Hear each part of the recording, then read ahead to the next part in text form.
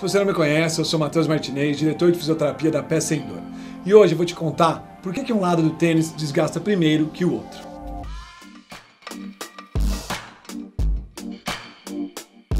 Eu sei que o vídeo acabou de começar, mas é muito importante você já deixar o seu like. Isso ajuda o YouTube a assimilar o canal e recomendar para cada vez mais pessoas. Bom, você já reparou se os seus sapatos costumam desgastar mais rápido de um lado que do outro? Às vezes até furam no mesmo local, sempre do mesmo lado? Se for algo bastante perceptível, pode ser que sua pisada esteja um pouco desalinhada. Lembrando que não podemos determinar nosso tipo de pisada somente observando nossos sapatos. Estou somente comentando sobre algo que pode ser um ponto de atenção. A nossa pisada pode ser supinada, que é para fora, pronada, que é aquela para dentro, ou neutra. A supinada, a pessoa pisa primeiro com a parte externa do calcanhar. É o que normalmente as pessoas chamam de pisar para fora. Já a pronada é o um movimento oposto. Primeiro a parte interna do calcanhar.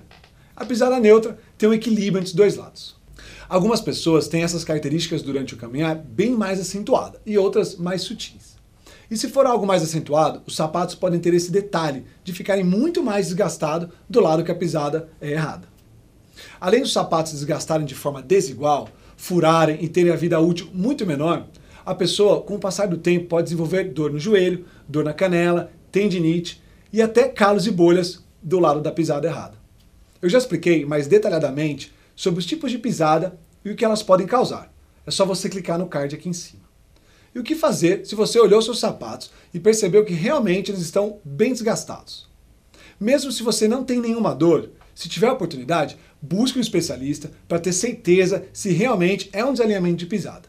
Depois de ter certeza se sua pisada é pronada ou supinada, em alguns locais, em alguns casos, pode ser sugerido sessões de fisioterapia para atuar nos músculos e retornar um alinhamento biomecânico mais saudável.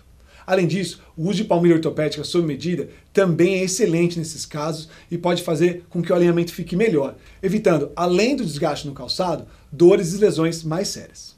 Aqui na Peça em Dor, a gente realiza um exame computadorizado com baropodometria e scanner 3D, para que assim a gente possa detectar o seu tipo de pisada e resolver o seu problema com uma palmilha sob medida. Eu deixei aqui na descrição do vídeo um link para você clicar e agendar a sua avaliação, que é totalmente gratuita.